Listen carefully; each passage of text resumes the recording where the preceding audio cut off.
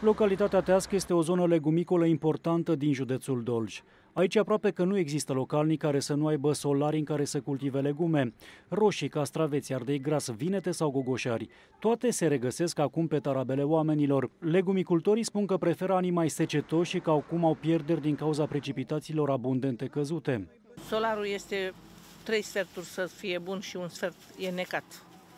Când plouă apa până la genunchi, iarba s-a făcut până la brâu. Foarte mari pierderi. Asta este. Nu avem ce să facem, nu ne punem în potriva naturii. Probleme majore din cauza ploii. Recolta de, de vară-toamnă e compromis 60-70% din cauza ploilor. Conducerea Direcției Agricole Dol spune că situația este totuși una bună în județ. Pierderile sunt nesemnificative raportate la producția realizată în acest an. Marii fermieri au producțiile asigurate, ă, acolo nu sunt probleme, dar vă spun, suprafața calamitată 100% se ridică la nivelul câtor sută de hectare la Dolj, ceea ce e deci, iar procentul de grâu încolțit în Dolj este 0,04% din întreaga producție.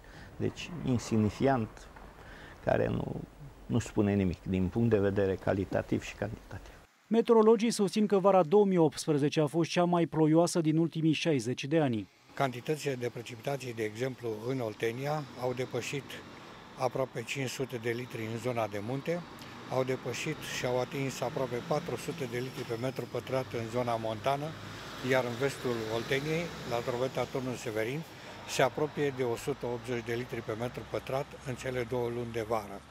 Metrologii spun că luna august va fi una normală din punct de vedere termic și că va ploua mai puțin decât în primele două luni de vară.